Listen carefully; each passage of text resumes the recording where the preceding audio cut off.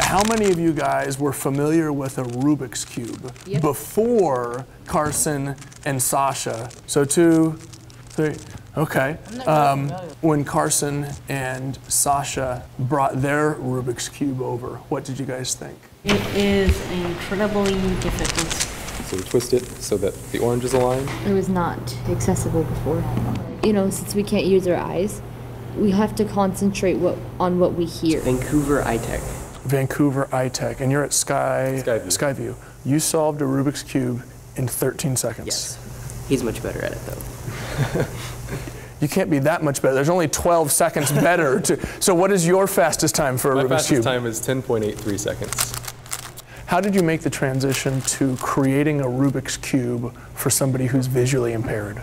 Um, well, the idea kind of started with my dad, actually. Um, my dad works at the um, Vancouver VA with blind veterans. Oh, it's at the bottom. So um, that was kind of our in. We thought, how can we take this and um, give it to um, a certain group of people that wouldn't have had the opportunities to solve them otherwise? And then my dad also knowing how to read Braille and having different um, tactile uh, textures that we can use, that was kind of what inspired us to do it. Have you solved the one that Carson and Sasha sent over?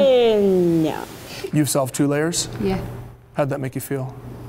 Um, somewhat productive, but I would like to solve the third layer. turn the cubes to see if they match. It's so hard to figure it out. For me, it is a fun challenge because I like things that are hard. Like, I want to be competitive. Oh man. Some say it's the most challenging